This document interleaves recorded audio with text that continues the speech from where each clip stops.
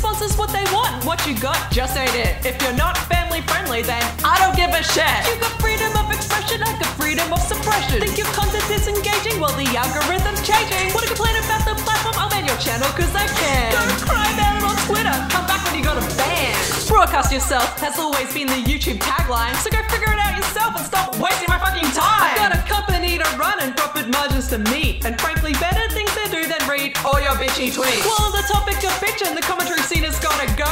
Only one opinion matters, and it's Susan Wojcicki's hose. Don't cover controversial news. YouTube hates that most. Unless, of course, you're John Oliver or some other late night host. You should know copyright claims the least of my concern. Let UMG do its thing. I don't care what you earn. I'm the CEO of YouTube, Susan motherfucking Wojcicki. Don't like how I run things, then you can suck my Wojcicki.